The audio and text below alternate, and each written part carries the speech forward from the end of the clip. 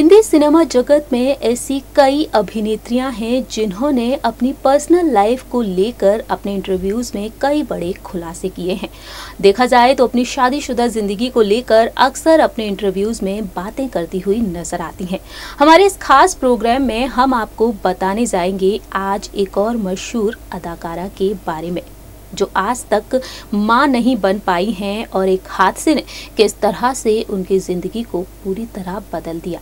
Hello friends welcome to our channel next nine news और मैं हूँ आपकी होस्ट प्रांशी राठौर। दरअसल जानकारी के लिए आप सभी को बता दें कि हम बात कर रहे हैं आज हिंदी सिनेमा जगत में 70 से 80 के दशक में। फ़िल्मों में नेगेटिव किरदार निभाने वाली मशहूर अदाकारा बिंदु के बारे में, जिन्होंने बहुत ही कम उम्र में फ़िल्म इंडस्ट्री में कदम रखा और ज़्यादातर फ़िल्मों में नेगेटिव किरदार में नज़र आई। बिंदु, जिन्होंने अपनी प्रोफेशनल और पर्सनल लाइफ को लेकर काफ़ी सुर्खियाँ भी बटोरी हैं। जानकारी के लिए आपको बता दें कि बिंदु ने महज तेरह साल की उम्र में ही अपने पिता को खो दिया।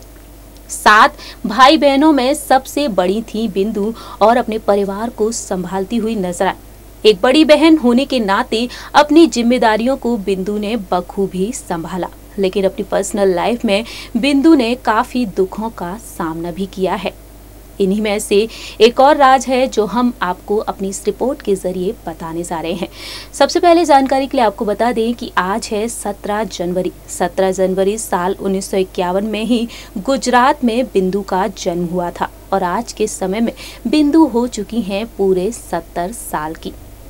इस खास मौके पर जहाँ एक और बिंदु के फैंस उन्हें जन्मदिन की बधाई देते हुए दिख रहे हैं। वहीं दूसरी ही ओर बिंदु की ज़िंदगी से जुड़े कई किस्से भी सामने आ रहे हैं। हमारी इस खास रिपोर्ट के ज़रिए हम आपको बताने जा रहे हैं बिंदु की शादीशुदा ज़िंदगी के बारे में।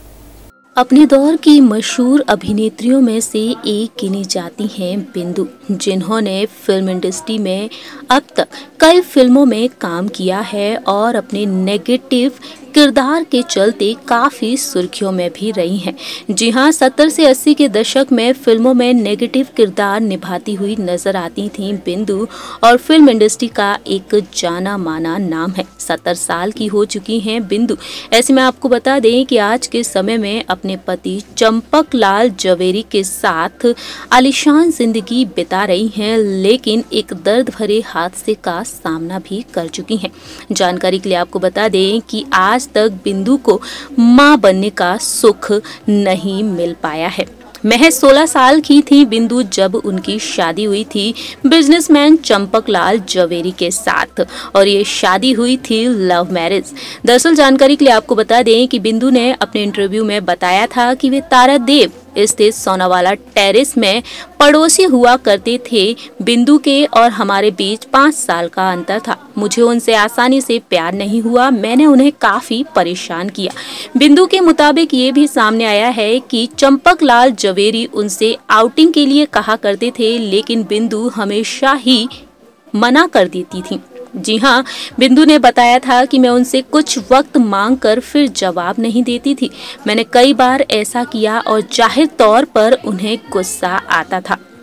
लेकिन वे कभी इसे ज़ाहिर नहीं करते थे। और एक दिन मुझे एहसास हुआ था कि ये सिर्फ़ अट्रैक्शन नहीं है। और बाद में एक वक्त ऐसा भी आया जब बिंदु को उनसे प्यार हो गया और एक वक्त ऐसा आया जब दोनों शादी की बंधन में बंध गए, जहाँ एक और एक दूसरे के साथ शादीशुदा ज़िंदगी को बेहतरीन तरीके से बिता रहे थे। वहीं एक वक्त ऐसा आया जब बिंदु ने दुखों का सामना भी किया। साल 1977 से साल 1980 के बीच का दौर बिंदु के लिए काफ़ी दुख भरा रहा। जानकारी के लिए आपको बता दें कि बिंदु ने अपने इंटरव्यू में बताया अपने मिस कैरेज के बारे में। बिंदु ने अपने इंटरव्यू में बताया कि हमने बेबी प्लान किया और प्रेगनेंसी के तीन महीने बाद मैंने काम करना भी बंद कर दिया। लेकिन सातवें महीने में मेरा मिसकैरेज हो गया और मैं पूरी तरह से टूट गई। ये मुकद्दर की बात है, हर इंसान को हर चीज़ नहीं मिलती। मेरे हस्बैंड भी बहुत निराश हुए और इस हादसे के बाद बिंदु कभी माँ नहीं बन पाए। बिंदु को कभी माँ बनने का सुख नहीं मिला।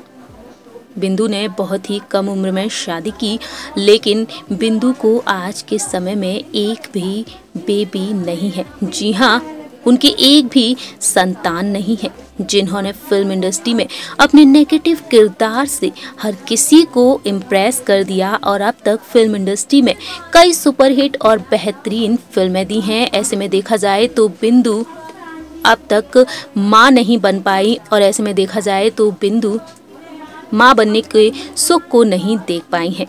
बिंदु ने अपने इंटरव्यू में ये भी बताया कि किस तरह से उनके पिता उन्हें बेहद प्यार करते थे।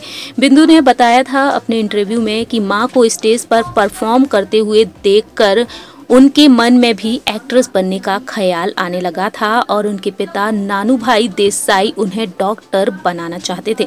बिंदु के मुताबिक साथ ही साथ ये भी सामने आया कि वह सात बहनों और एक भाई में सबसे बड़ी थी और इसीलिए जब उनके पिता बीमार पड़े थे तब उस दौरान, तब उस दौरान परिवार की ज़िम्मेदारी उन पर आ गई थी। बिंदु के पिताजी उनसे कहते थे कि तुम मेरा बेटा हो। वहीं महज तेरह साल की उम्र में बिंदु ने अपने पिता को खो दिया और बिंदु ने हर मुश्किल घड़ी का डट कर सामना भी किया। साल उन्नीस सौ बासठ में फ़िल्म इंडस्ट्री की दुनिया में कदम रखा और फ़िल्म अनपढ़ से अपने करियर की शुरुआत की। लेकिन साथ ही साथ आपको बता दें कि इसमें उन्होंने बतौर चाइल्ड आर्टिस्ट काम किया था।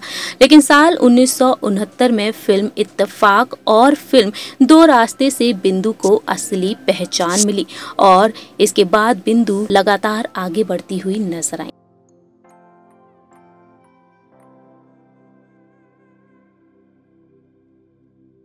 सो so फ्रेंड्स हमारी इस रिपोर्ट में आपने देखा कि किस तरह से बिंदु ने अपने इंटरव्यू में बताया कि वह माँ बनने का सुख नहीं देख पाई हैं।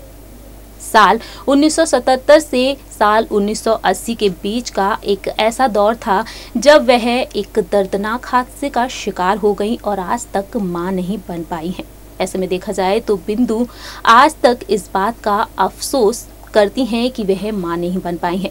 बिंदु अपने पति चंपक लाल जवेरी के साथ बेहद आलिशान ज़िंदगी बिता रही हैं और अब तक फ़िल्म इंडस्ट्री में कई सुपरहिट फ़िल्में भी दे चुकी हैं। हमारे इस खास प्रोग्राम में इतना ही। तब तक के लिए आप देखते रहिए नेक्स्ट नाइन न्यूज़।